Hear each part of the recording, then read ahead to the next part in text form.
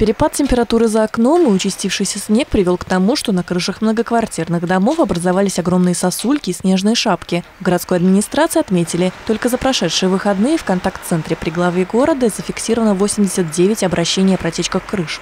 Было составлено 53 акта о нанесенном ущербе. В остальных случаях хозяева квартир отсутствовали. По каждому акту составляется претензия коммунальщика. В случае невыполнения предписаний встает вопрос о смене управляющей компании. В течение пяти суток мы осуществляем подготовку документов, соответственно, объявляем в соответствии с статьей 165 Жилищного кодекса, объявляем собрание собственников с целью выяснения у собственников, желают ли они работать с этой управляющей компанией или нет. В целом по области неочищенными от снега и наледи остались 1300 придомовых территорий и 406 кровель. В областном центре на крышах работают 40 промышленных альпинистов. Тему затронул на прошедшем сегодня аппаратном совещании губернатор. По словам Сергея Морозова, коммунальщикам необходимо активизироваться, а лучше всего перейти на круглосуточную работу. Поэтому мне ваши, так сказать, разговоры о том, что там 4 работают, там 2 отдыхают, неинтересно.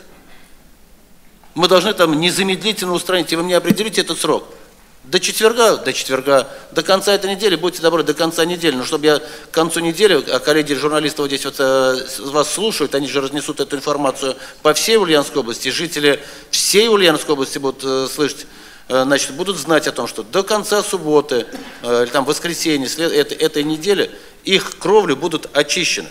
В Министерстве энергетики, ЖКХ и городской среды заверили, крыши очистят к четвергу. Под особый контроль взяты 114 жилых домов и объектов соцкультбыта, на кровлях которых характерно образование больших масс снега и наледи. Анна Тищенко, новости Ульяновской правды.